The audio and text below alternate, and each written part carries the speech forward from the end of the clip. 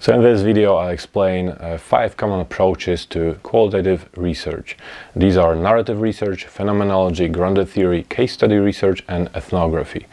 And uh, before I start it's important to point out that, that you may have heard about different classifications. So there are other classifications, some of them list more methodologies, some of them list uh, less methodologies. Uh, then you have authors who refer to something I refer to as methodology, such as case study research or grounded theory as methods. So of course it's it can be confusing as anything in qualitative research in case you haven't noticed. So uh, hopefully I can make it clearer for you. So I chose these five common methodologies and I feel that these are probably the most consistently listed methodologies in all these all these different classifications. So hopefully this way it will become clear to you what they are. The first in our list is narrative research. And the purpose of narrative research is to gather lived and understand, gather and understand lived experiences of uh, one individual most often, but sometimes two individuals or a small group of individuals. Like I said, most more often than not, it's one person. So the procedure here uh, consists of focusing on one, as I said, one or two individuals uh, usually gathering their stories, reporting these uh, experiences, and uh, ordering the meaning of these experiences.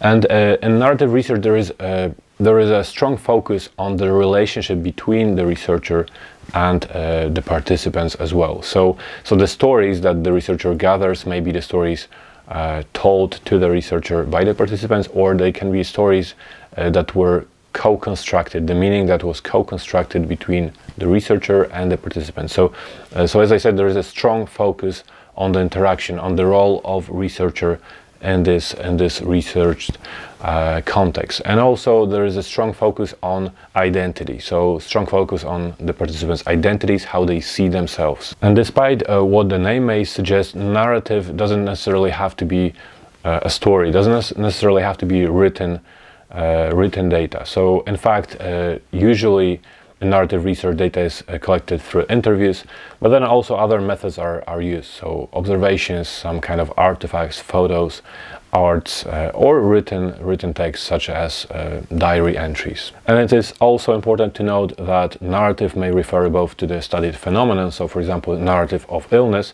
and the method, so analyzing the stories. In terms of uh, challenges that narrative researchers face, uh, probably the main, the most often uh, mentioned challenge is to identify this kind of source information, source data, to identify the data that will give us this uh, in-depth and accurate view of the participants' lived experiences. And the second methodology that I want to discuss is phenomenology. I'm sure you've heard this name. Uh, maybe you've even managed to pronounce it correctly. And uh, phenomenology, unlike, uh, as you may have heard, focuses on studying uh, how uh, people make sense of a given phenomenon. So uh, the first thought that may come to your mind is how is it different from narrative? So it was also about studying lived experiences, about studying a phenomenon.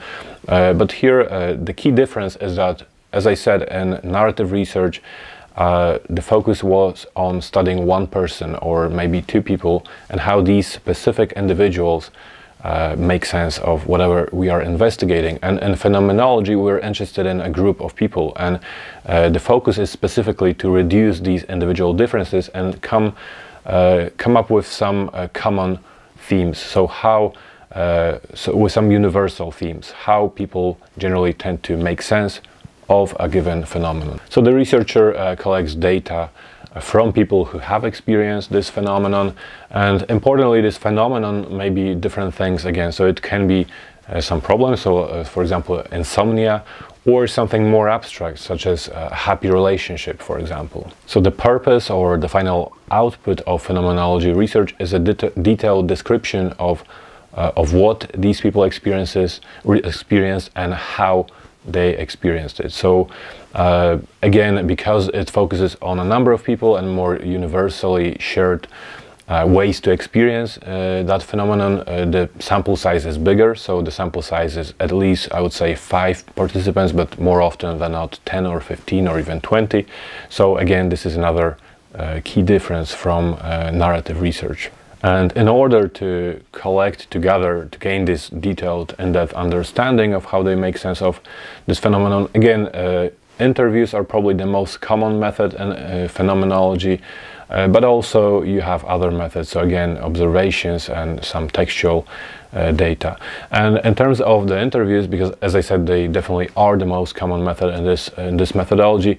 The interviews tend to be very open-ended, and usually they even have one or two very broad questions that uh, that encourage the participants to simply reflect on on this phenomenon, on how and when they experience this phenomenon. And now, in terms of challenges in phenomenology, uh, the first challenge is uh, is probably to find people who have experienced this phenomenon that we are interested in investigating.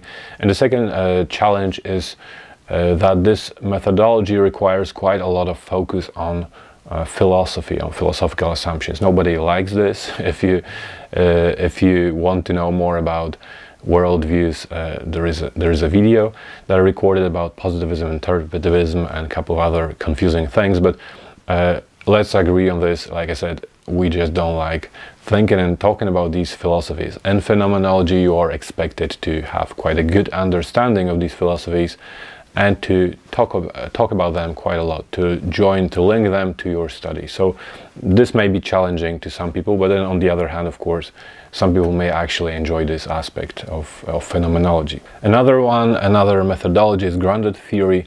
I do have a separate video about grounded theory, so I won't go into too much detail of this methodology. But to summarize, it's a, uh, it's a methodology that aims at uh, generating a theory or a detailed explanation from the data. So uh, probably another key characteristic of grounded theory is that uh, there is a strong focus on not using pre preconceived ideas, uh, pre-established knowledge. So there's a strong focus on becoming, on having this blank mind and uh, making sure that our theory or explanation is grounded in the data, in the data that we collected. So it emerges strictly from the data. Another characteristic of grounded theory is that usually uh, grounded theory is used to, uh, is applied to contexts where a uh, certain phenomenon or something that we are investigating is under researched. So again, this is because we uh, we don't want to use any preconceived ideas or frameworks or models. So uh, so if we don't know much about a given, uh, given situation or phenomenon, uh, then we quite often decide to apply grounded theory. And then there is a, a range of procedures and elements quite specific to grounded theory. So uh, notions such as theoretical sampling is also something I explain in another video. Uh, specific approaches to, to coding and data analysis. So there is a couple of uh, a couple of very specific procedures. Uh, this methodology has been gaining popularity. That's that's uh, for sure uh, in recent years. And if you want to know more about it, like I said, there is another video on my channel. But overall, my message to you is that grounded theory doesn't have to be very complex and overwhelming. It often feels this way. And I remember as a student, I was uh, quite anxious about even when I heard about grounded theory I didn't think I would ever want to do this because the message that I got from the teachers is that it's something very complex.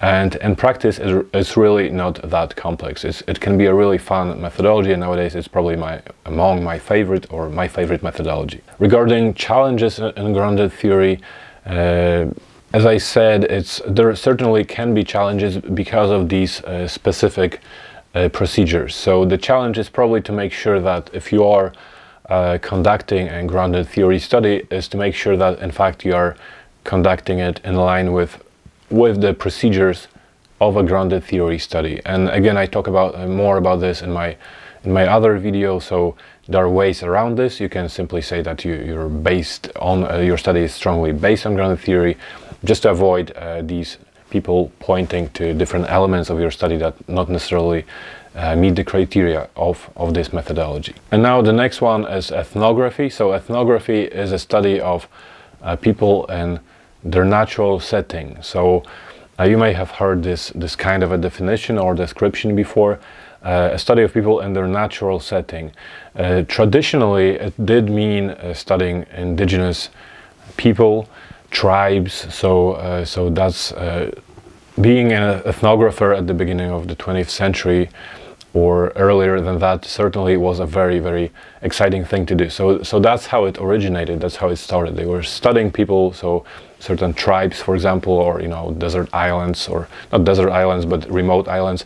Uh, they were immersed in that culture. They were living with them, and they were studying them. That's that's how ethnography developed. But nowadays, it doesn't have to be that uh, extreme. So basically, this uh, these people and in their natural settings can be, for example, teachers, teachers in their school. So, so, so the definition of of this natural, naturally occurring setting is quite broad. It doesn't have to be uh, th this extreme context that I mentioned. Regardless of uh, who we are investigating, the point is to investigate certain uh, cultural group. So, as I said, it may be a culture, as in the culture of teachers, but the point is to study a cultural, certain, certain cultural group a group that held uh, holds certain shared values and cultures and beliefs. So, a strong focus in ethnography is on exploring culture, on exploring these values, cultural values. As I said, the researcher is quite immersed in everyday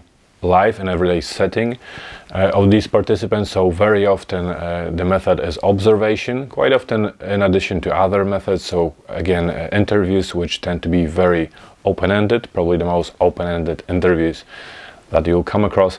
But usually, uh, probably almost uh, every time there has to be observation because that's the that's the main uh, feature is to observe uh, the participants, like I said, in their in their daily life. There are many challenges uh, associated with ethnography.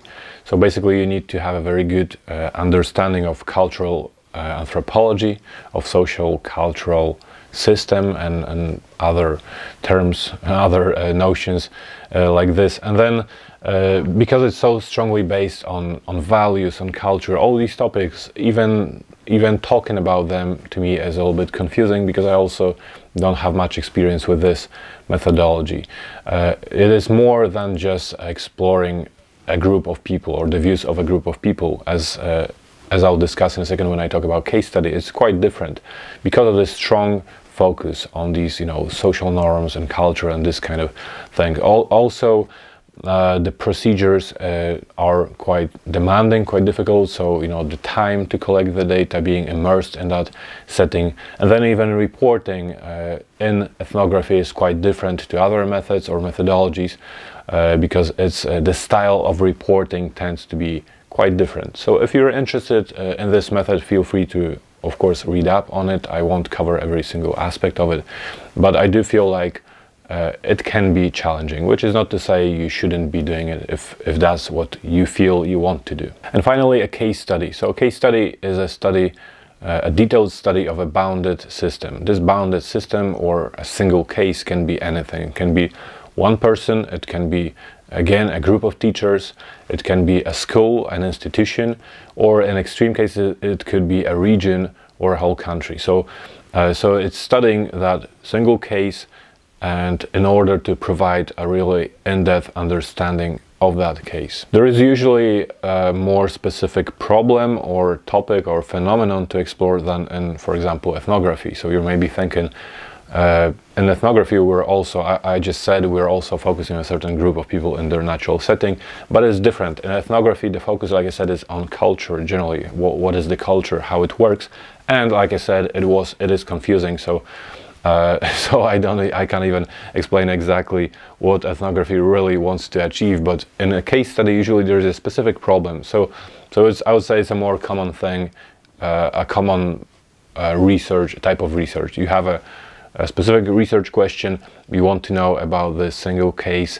and you explore this case in depth. So usually uh, you need several methods to, to have a really detailed understanding of that case. In terms of challenges of case study research, Again, they are, I would say they are quite common challenges. It's just because I decided to focus on challenges and describe challenges of each methodology that I will even mention challenges of case study research. So uh, the most obvious one is to identify what we understand by this case or a bounded system. So that's one of the challenges, uh, although I don't really think it's a big challenge, if you have a good reason to believe that this is in fact your case to study.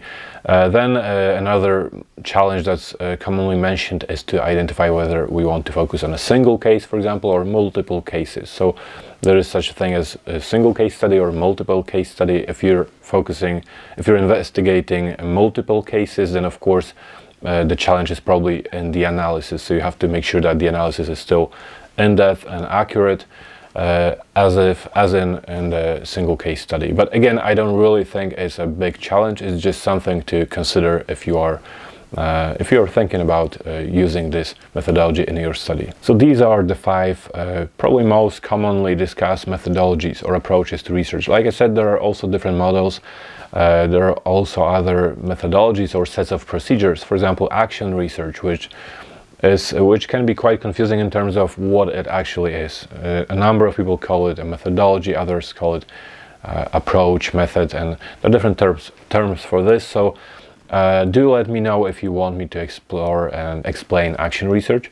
Also, let me know if you want me to explain any of these particular methodologies in more detail. So the purpose of this video was, of course, to just to provide a brief uh, overview of each methodology, but let me know if you want to know more about any of these methodologies. Then again, as always, if you're new to this channel, consider subscribing. And if you learned something new from the video, please like it to help the video get found. And then finally, if you require a more detailed uh, assistance, a more tailored instruction, feel free to explore my website for uh, services that I provide.